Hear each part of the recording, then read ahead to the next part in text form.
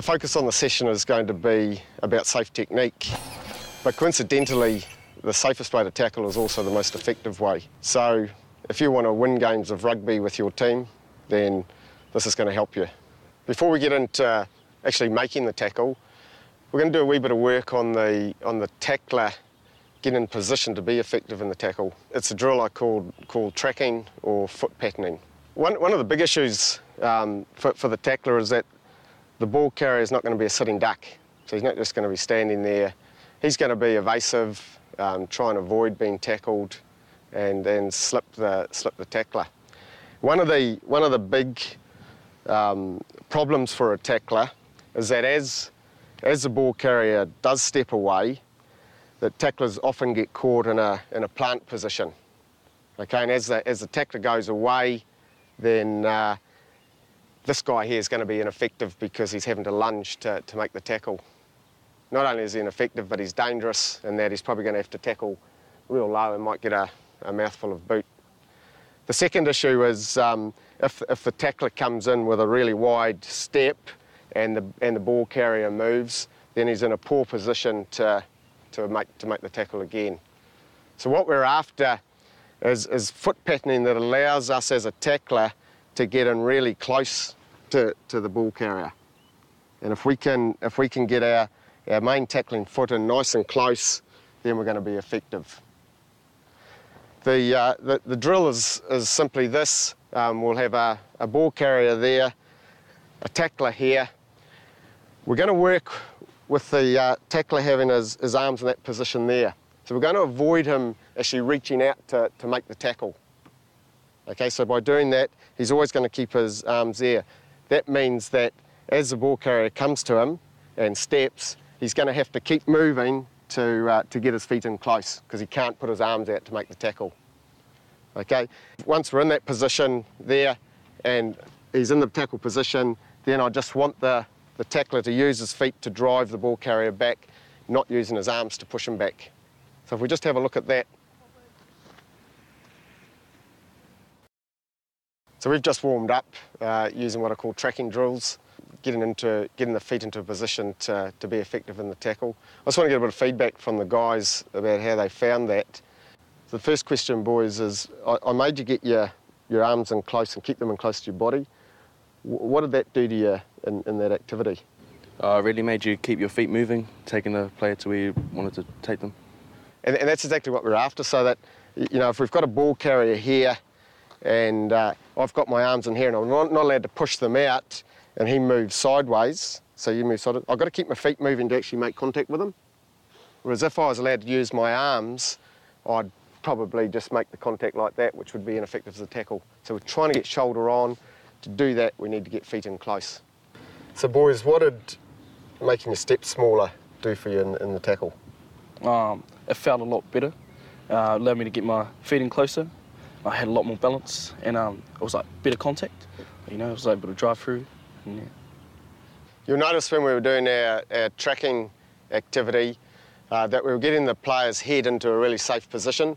So if we have the ball carrier coming in here and the tackler making a, a tackle on his right shoulder, we're trying to get the right foot in close to, to the ball carrier and right shoulder making the contact, head to the side of the player rather than in front of him. Okay, so not only is that safe, but that, that's the effective way to do it. Problem arises when uh, this player here wants to make that right, right shoulder tackle, but the ball carrier doesn't allow him to because he steps back inside. So what we need to do is be able to be comfortable on, on either shoulder. And, and it's quite simply a matter of, with this player coming in, this player coming forward, he steps this way, it's just changing the foot and changing the shoulder. So there's nothing complicated about it. It's just being able to to go from right shoulder, right foot to left shoulder, left foot. Now these boys have got, um, you'll see on the jerseys, they've got the great fern over the heart, brings hairs up on the back of your neck, Adidas on, on the other side. So what we're gonna what we're gonna do here is we're gonna talk about getting Adidas on Adidas as a as a tackler and fern on fern. So if the player comes this way and steps that way to the right shoulder, it's Adidas hitting Adidas. If it steps the other way, it's fern hitting fern. It's a nice simple way for the boys to understand that, that we change. Okay, again, this is pre-tackle. We're looking at foot positioning and body positioning. Don't worry about the height of the tackle at the moment. We're, we're just purely talking tracking and getting into position to then make the tackle. The tackle we're going to deal with is, is a low tackle. Like the, the way the game is refereed today and the law interpretations, there's a lot of risk associated with a high tackle. Firstly, uh, the ire of the referee. You know, you can you can draw penalties um, from from hits that are a bit, bit high. Secondly, the high tackle tends to lead to a bit of a wrestle with the ball carrier, which then gives the ball carrier's team an opportunity to get support players there and uh, and improves their chances of ball retention. Whereas I think that the modern game today requires you to get the ball carrier on the on the ground as quickly as you can. Uh, so low tackle is ideal for that, probably around the, the hip area and maybe sliding down uh, into the legs area. But certainly getting them, getting them to the ground really quickly, uh, that's your best way to, to maybe isolate the ball carrier and gives you the best opportunity to, to get a turnover. Now, if we're teaching this um, to, to kids, for example, early in the season, uh, what I like to do is, is start, uh, make sure it's really safe and, and we're not getting injuries on hard ground or for guys that haven't been in contact for a while. So I like to start them on their knees. Um, just to demonstrate here, we've got a ball carrier. He'll be on his knee there. Uh, and, and so any player would feel in quite a safe position here doing this activity. I'm going to work on, uh, on the ball carrier is going to step that way just for the, for the sake of this activity. And I'm going to work on hitting him in this area here and making sure that my cheek is really tight against his cheek. So it's really important that you get a tight grip that whilst you're punching with your, with your shoulder through the impact, you're also wrapping with your arms and getting a nice tight bind between your, your cheek and, uh, and his cheek there. The other thing we're going to work on in this activity is the tackler landing on his front. That way you hold all the cards. If you, if you can land on your front, means you can get up quickly. Um, you're the player, the tackler's the player that the referee is, is ruling. He's watching you, so therefore, you've got to play within the law, which means getting up and then making your next decision uh, in that tackle area. If you're on the deck uh, as a tackler, you're liable to be penalised and you have no material effect on the game. You, you can't really do anything. Okay, so the drill will be simply this, on our knees, ball carrier, defender, tackler, landing up on top and then just getting up. What I'm going to do now is ask these boys to bring the stuff that we've been working on, the skills that we've been developing, bring it into uh, a tackle situation. So we've got an activity that we're going to go through here. I'm just going to add a couple more things in uh, that I want to demonstrate uh, because uh, we, we still haven't made the tackle yet. And, and as I said before, we want it to be safe as well as highly effective. So when we're doing this drill, we're going to be looking for several things. We're going to be looking for uh, small steps uh, into the tackle so that we can get that, that leading foot in close to, to the ball carrier. We're going to be looking for uh, face up.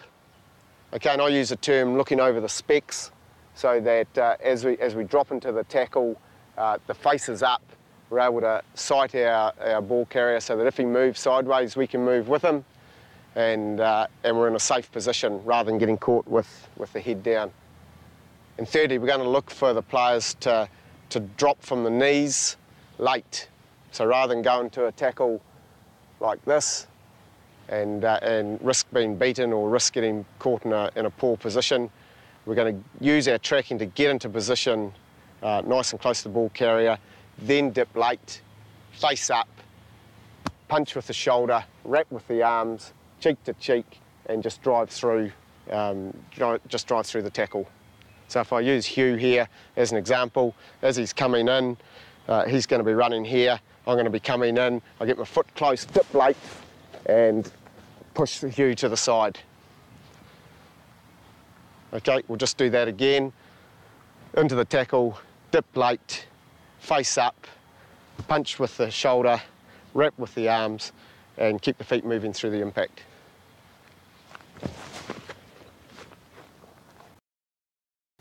We're now going to take all those parts and put it into the whole. So we're going to complete the tackle. In this case, uh, the tackle's not completed until we're up on our feet again after, after hitting the deck. So here the, the, the tackler's going to make a low tackle, land on his front, get up quickly over top of the ball carrier, and then make a decision.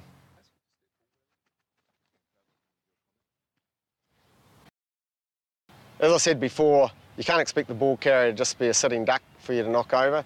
They're going to try and step you, use their explosiveness, try and uh, hit a weak side of the tackler. So it's really important when you're doing these activities that you're randomising them, that uh, you allow the ball carrier to step either way and, and make it quite competitive so that uh, he's trying to beat the tackler. Uh, that way you're really emphasising the need to be able to use either shoulder and, and from a safety perspective you've got to be able to do that. If you're just a right-sided tackler, for example, that's okay if you're going to your right, but it means when you're coming to your left and you're having to tackle the ball carrier, you're going to get in a poor position with your head uh, in front of him. So head to the side, face up, make sure that you're able to see where the ball carrier is going. One thing I'm interested in, uh, and I'll ask these, these guys the question, uh, what they focus on uh, when they're making the tackle because the tackler's trying to use his feet, do his magic. Uh, if you're watching those, you're going to get bamboozled. So what does the tackler look at? I like to focus on the core area, so the area above the hips, the stomach uh, region. Why? What, what, Uh, why is that so important? Uh, because where the core goes, there you go. There you have it, coaches. Um, that, that's a great explanation where the core goes. So the, the stomach area is slightly above the hips. In this drill here, it's slightly above the, the Adidas stripes on the, on the shorts. That's where this player's focus is because where that area goes as a ball carrier is where he wants to be to, to make the tackle. That'll make it not only safe but, but highly effective. Eyes always on the core, whether tackling around the ball or around the legs, and move forward into contact. Try to position myself slightly inside the ball carrier, inside shoulder. Always keep my face up, keep my feet alive, and position my leading foot close to the ball carrier. Drive with the legs, making firm contact with the shoulder, and make sure I keep my head to the side and keep driving. Punch my arms forward and wrap around the ball carrier. Continue power drive through to complete the tackle and try to end up on top of the ball carrier. Release and get to my feet as fast as possible before I can recover the ball.